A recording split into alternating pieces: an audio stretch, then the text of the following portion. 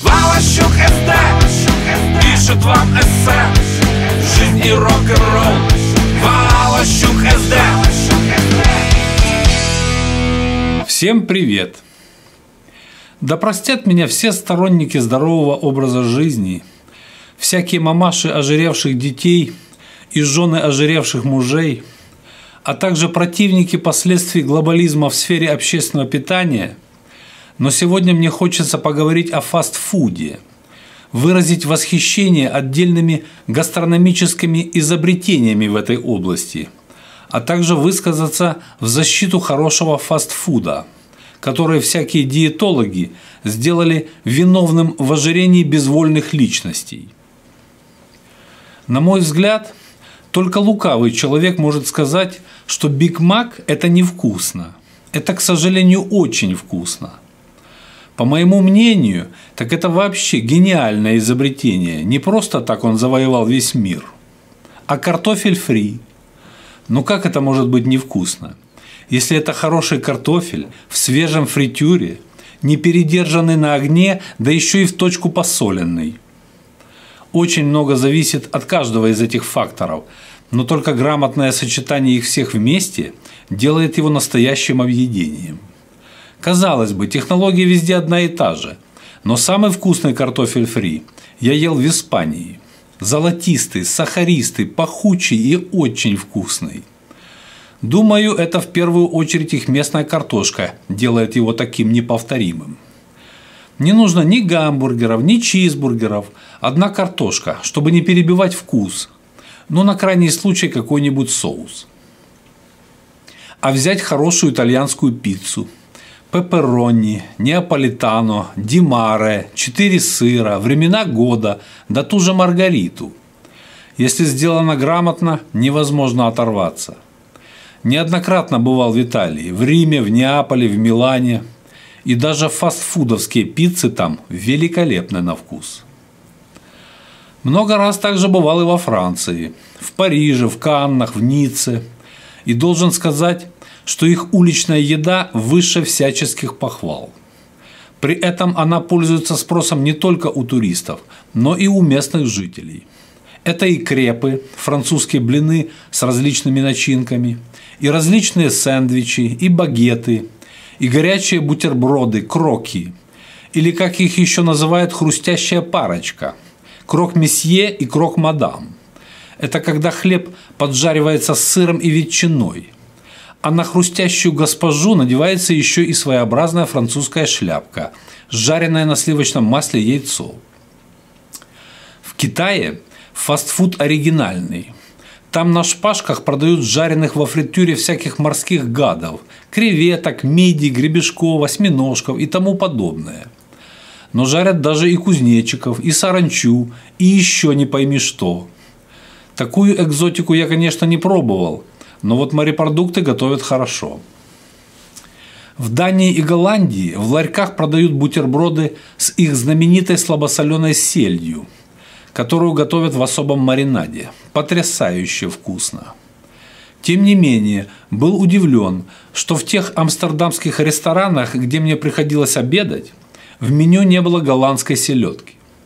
Оказалось, что селедка там воспринимается как еда простолюдинов, поэтому ее удел именно фастфуд и недорогие кафе.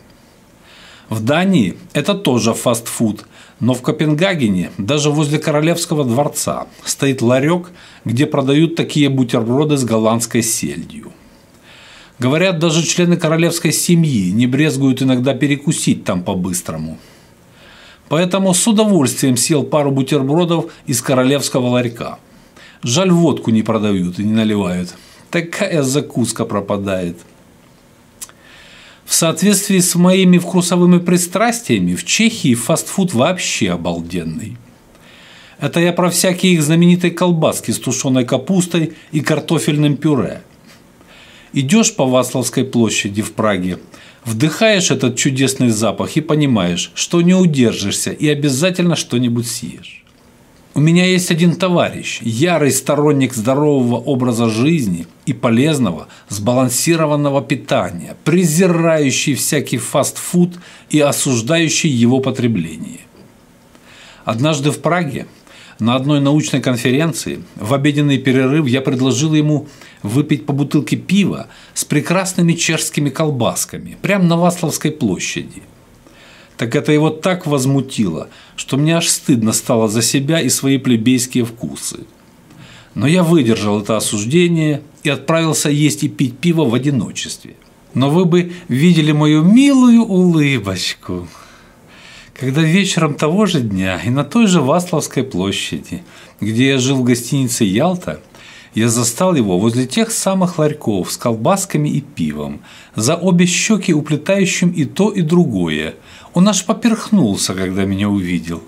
Но я не стал ему напоминать его же недавний пафосный монолог, а только одобрительно похлопал по плечу и прошел мимо. И под конец немного прорекламирую наш российский фастфуд, без всякой надежды на оплату моих рекламных услуг. Прекрасная идея с крошкой-картошкой, которая, на мой взгляд, также прекрасно воплощена в жизнь. Таким отлично приготовленным картофелем со всевозможными начинками действительно можно быстро и вкусно утолить голод. И это действительно по-русски. Ведь картошка у нас второй хлеб. Точно такая же русская забава – блины со всевозможными начинками, от соленых огурцов, грибов, всевозможного мяса и красной икры до меда и варенья. С горячим чаем любой иностранный турист с удовольствием прочувствует наш русский колорит. Эта идея также хорошо воплощена в сети киосков «Теремок». Неплохие гамбургеры делает наш Тимати в его Black Star бургерных. Талантливый человек обязательно должен знать толк в еде. Он по определению должен любить жизнь во всех ее проявлениях, иначе он не состоится как талант. Вот и Андрей Макаревич со своим смаком много лет подряд интересен множеству людей. Он умеет и вкусно готовить, и вкусно об этом рассказывать. Настоящий гурман. Может быть, именно поэтому он сочиняет такую прекрасную музыку и стихи. Врожденное чувство гармонии во всем. Вот такой вот мой небольшой рассказ в защиту хорошего фастфуда. Всем пока, но только смотрите, не объедайтесь.